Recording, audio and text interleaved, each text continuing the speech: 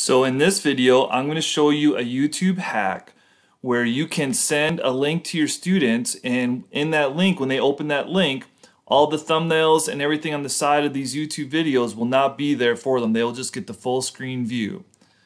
So all you need to do is to go up here to the web browser and the web address and right next to the question mark next to watch, you're going to type underscore and pop up hit enter. And now you will see you got a full screen view with none of the thumbnails and some of the nonsense that sometimes pops up in YouTube. So now all you have to do is just copy and paste this link and send to your students. And now you don't have to worry about anything crazy popping up on YouTube when you send them a video to watch in class.